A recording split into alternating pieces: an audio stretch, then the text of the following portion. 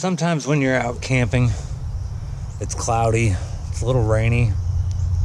Um, people are just kind of in a blah mood. So, one good way to, to cheer everybody up is chocolate chip cookies. These are easy to throw in the cooler, and I'm going to show you how to make them over a campfire. So, the first thing you'll need is a Dutch oven. A Dutch oven has a lid on the or a lip on the top of the lid to help hold the coals in place.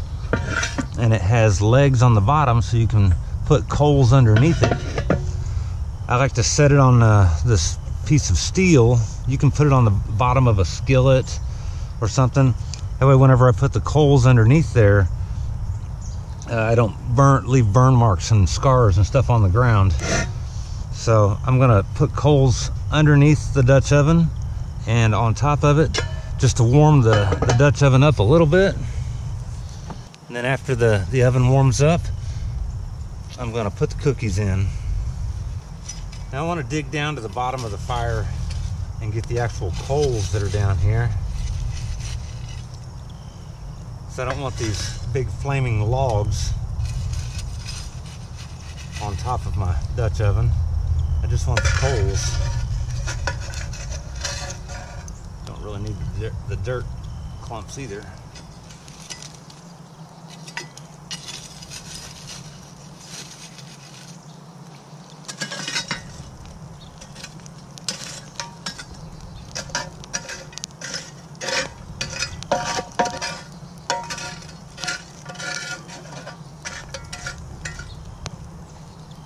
want to keep the fire built up so it'll keep generating more coals so I can use them as I need them.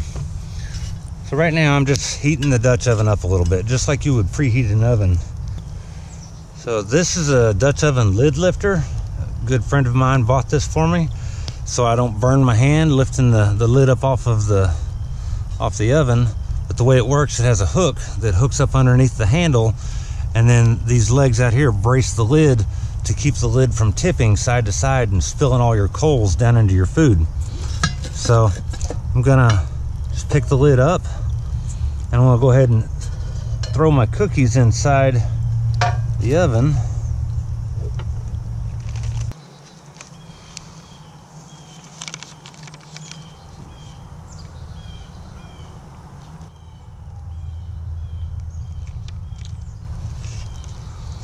Now that the oven is heated up,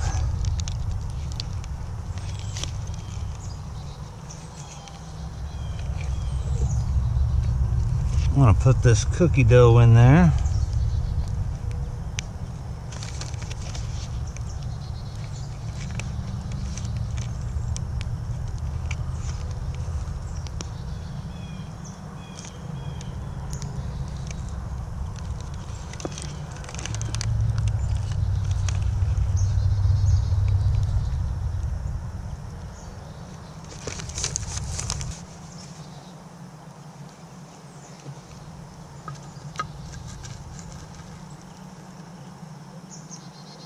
Carefully put the lid back on it so I can keep the heat in there. And I want a little bit of heat from the bottom.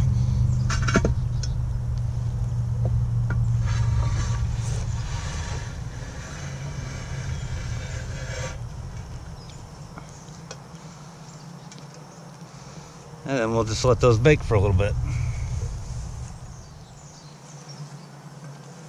And when you're baking in a Dutch oven, you want to check it frequently because it's very easy to have too much heat on the top or the bottom and burn whatever it is you're cooking.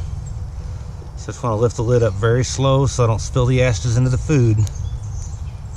All right, they're getting there. Just gonna let them cook a little longer.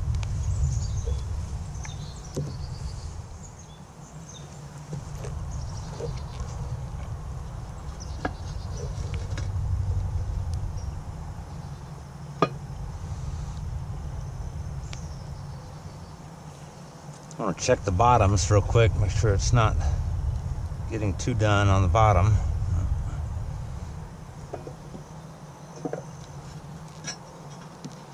So it's just starting to get brown on the bottoms. So I'm gonna go ahead and take it off of the, the bottom heat and let it cook just from the top down because I don't want to burn the bottoms of it.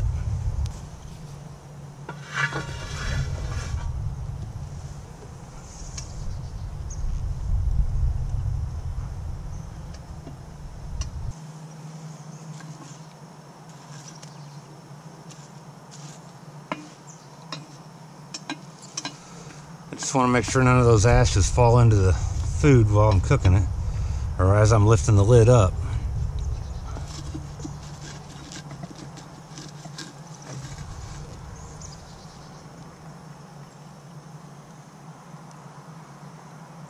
Yeah, they're getting there. Just a little bit longer.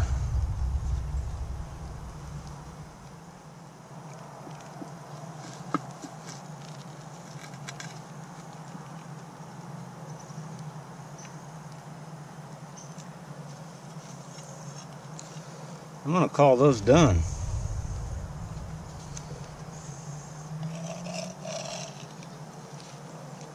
The bottoms look perfect. Ah, there we go. I'll break them all up.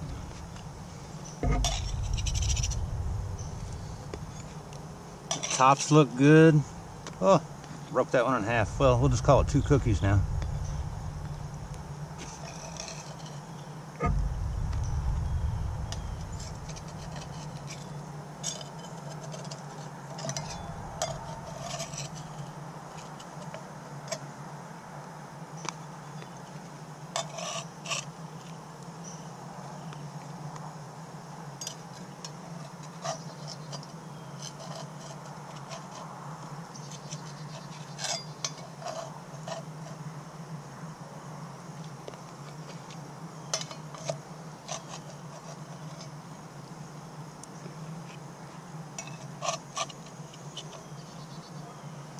If you were cooking these on a cookie sheet in an oven, you could let them cool just a little bit before you pulled them out and they'd stay together a lot easier. But if I leave them in the Dutch oven, they'll they'll continue to cook and they'll burn on the bottoms and I don't want that.